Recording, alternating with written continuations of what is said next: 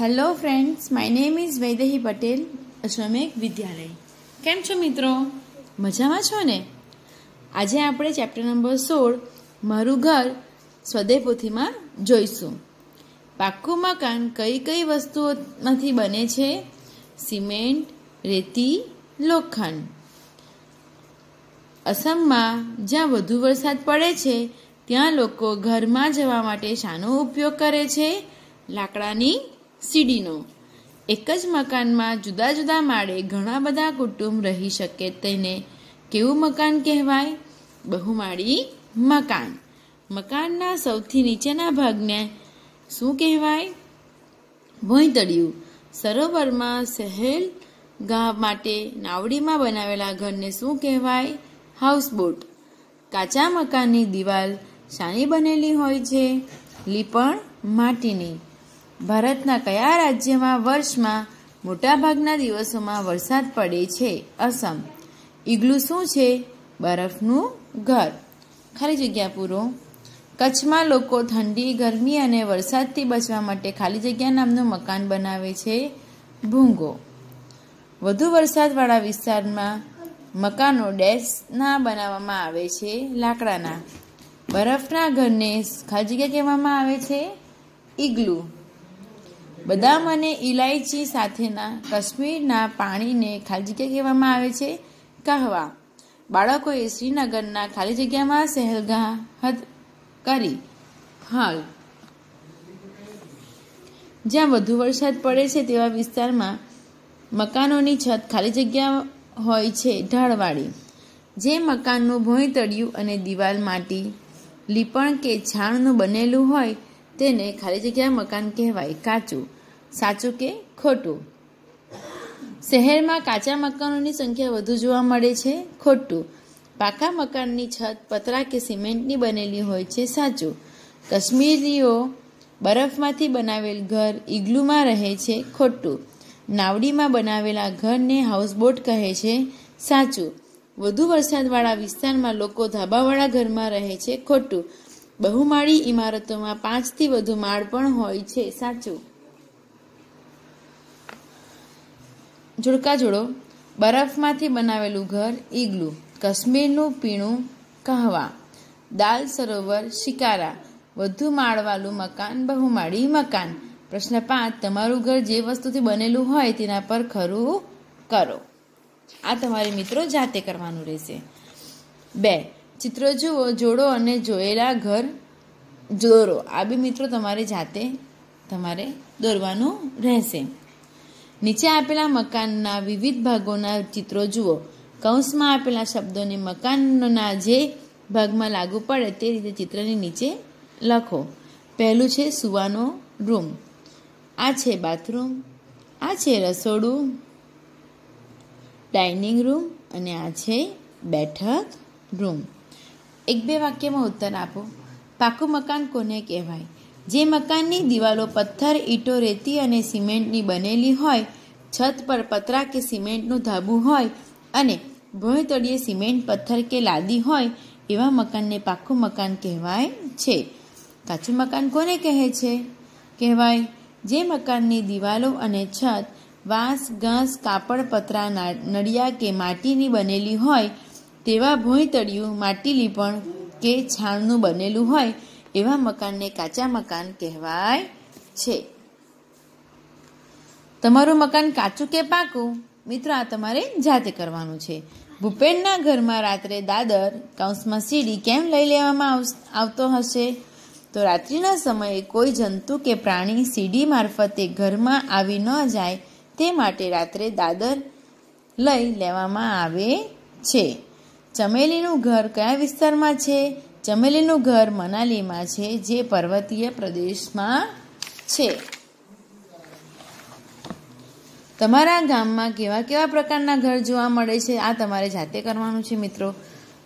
એસ્કિમોના બરફથી બનાવેલા ઘરને શું કહેવામાં આવે છે? એસ્કિમોના બરફથી બનાવેલા ઘરને ઈગલું કહેવામાં આવે છે. હાઉસબોટ શું કામમાં આવે છે? નાવડીમાં બનાવેલું ઘર એટલે હાઉસબોટ. પ્રવાસી આવેલા લોકો હાઉસબોટ દ્વારા સરોવરની સહેલગાહ કરી શકે છે અને નૌકા વિહારનો આનંદ માણી શકે છે. ટૂંકમાં ઉત્તર લખો, વાંસ કે લાકડાના ઘરમાં રહેવાને શું ધ્યાન રાખવું પડે છે? તો વાંસ કે લાકડાના ઘરમાં રહેનારને નીચેની બાબતોનું ધ્યાન રાખવું પડે. એક તો વાંસ કે લાકડાના ઘરમાં માટીના ચૂલાથી રસોઈ ન કરવી જોઈએ. આવા ઘર વધુ વરસાદવાળા વિસ્તારમાં હોવાથી ઘરના નીચે ટેકો મજબૂત રાખવામાં જોઈએ. ઘરમાં ખૂબ જ ભારે સામાન ન રાખવો જોઈએ. વધુ વરસાદ અને વાવાઝોડું હોય તોફાન હોય તો ઘરને નુકસાન થઈ શકે છે. ઘણીવાર વધુ વરસાદ હોય તો ઘરની નીચે પાણી ભરાય તો ઘરની નીચે પણ ઉતરી શકાય નહીં. અને અનાજ પાણીની વ્યવસ્થા રાખવી પડે છે. ઘરમાં આવવા અને બહાર જવા સીડી હોય છે. રાત્રે તે સીડીને લઈ લેવી પડે છે. નહીતર ઉપદ્રવી પ્રાણી ઘરમાં આવવાનો ડર રહે છે. આ બાબતે પણ કાળજી રાખવાની હોય છે.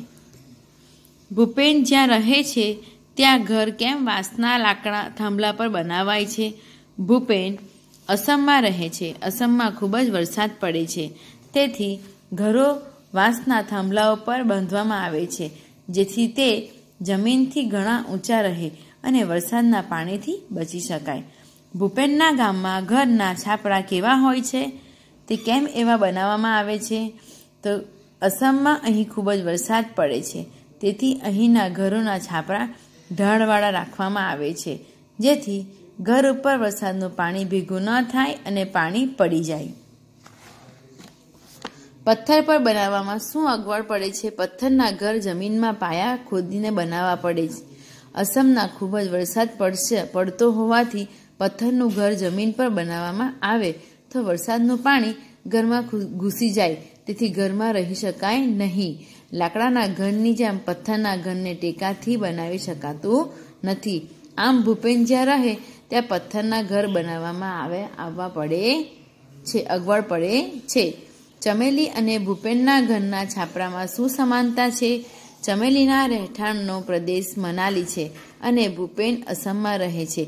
બંનેના રહેવાના પુષ્કળ વરસાદ પડતા હોવાથી તેમના ઘરના છાપરા ઢાળવાળા હોય છે. આ સમાનતા છે. પાકા મકાનમાં રહેવાથી કયા કયા લાભ થાય છે? તો પાકું મકાન આપણને ઠંડી, ગરમી અને વરસાદથી રક્ષણ આપે છે.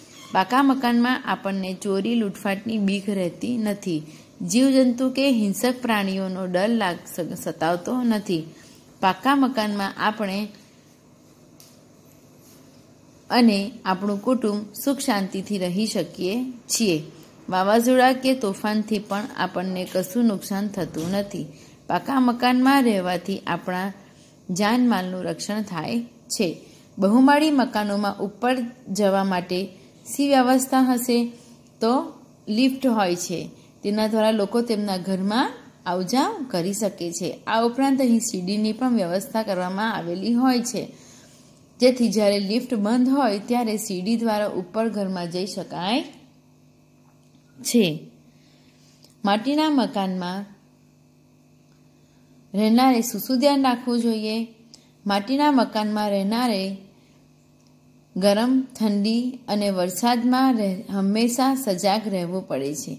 વધુ વરસાદ પડે તો માટીનું ધોવાણ થાય અને ભીત પડી જવાનો પણ ડર રહે છે. જેથી ઘરની દિવાલોનું વારંવાર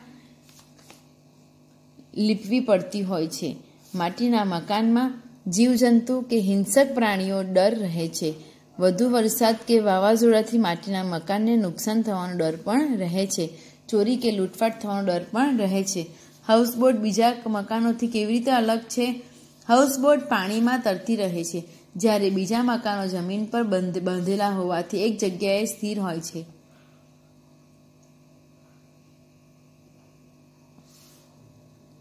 શું તમે હાઉસબોટ જેવા ઘરમાં રહેવું ગમે છે? આ તમારી જાતે કરવાનું છે. જે લોકોને ઘર ન હોય, તેઓને શી મુશ્કેલી પડે છે? જે લોકોને ઘર ન હોય, તો તેમને ખુલ્લામાં રહેવું પડે છે. ઠંડી, ગરમી અને વરસાદની ઋતુમાં તેમને ઘણી મુશ્કેલીઓ પડે છે. તેઓ તેમની માલ મિલકતની શરીરની તેમજ સામાનની સંભાળ રાખી શકે નહીં. શહેરોમાં બહુમાળી મકાન શા માટે બાંધવામાં આવે છે? શહેરમાં વસ્તી વધારે હોય છે અને વસવાટની જગ્યા ઓછી હોય છે. બહુમાળી મકાન બાંધવાથી એક જ પ્લોટમાં બારથી સોળ કે તેથી વધુ કુટુંબ રહી શકે છે. કચ્છમાં રણ પ્રદેશમાં રહેતા લોકો શા માટે ભૂંગામાં રહે ભૂંગામાં રહે છે? રણ પ્રદેશમાં ઉનાળામાં વધુ ગરમી પડે છે અને શિયાળામાં વધુ ઠંડી પડે છે. ભૂંગાની બનાવટ એવી હોય કે ગરમીથી બચી શકાય છે અને શિયાળામાં ઠંડીથી પણ રાહત મળે છે. આપણને મકાનની જરૂર શા માટે પડે છે? આપણને ઘર એ આપણો માણસનો વિસામો છે. મકાન ન હોય તો વ્યક્તિને કે કુટુંબને રહેવાની, સુવાની ખાવા પીવાની ઘર ઘર વખરી જે સાચવવાની અગવડો પડે છે. વ્યક્તિ મકાન હોવાથી ગરમી ઠંડી અને વરસાદ સામે રક્ષણ મેળવી શકે છે.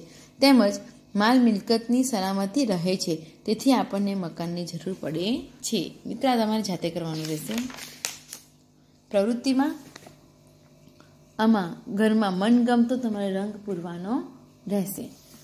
બરફના ઘરને શું કહેવાય છે? ઇગ્લુ હાઉસબોટ કયા રાજ્યમાં જોવા મળે છે? જમ્મુ કાશ્મીર. બહુમાળી મકાનમાં ઉપર જવા માટે સાની વ્યવસ્થા હોય છે? લિફ્ટ.